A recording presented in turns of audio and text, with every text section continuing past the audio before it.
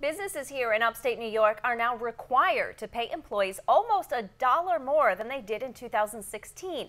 Minimum wage is now increased by 70 cents as part of a gradual effort to eventually hit $12.50 an hour. WENY's Kara Demers spoke to a local business owner about how those here in the southern tier are being affected and what customers might be able to expect.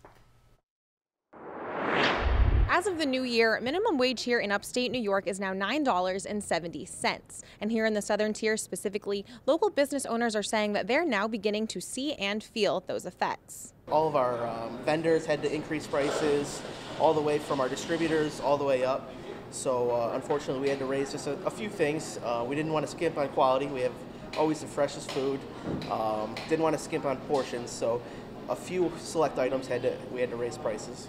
While this seems to be the case for a lot of businesses, prices are just one thing we can expect to change in the new year. This is the first step in a gradual process to eventually raise minimum wage to $12.50 an hour by 2020. Unfortunately, this means it isn't always possible for owners to continue running business as usual. You might be looking at um, businesses that are certainly evaluating their staffing structures, um, potential reductions or you know, just some kind of a change.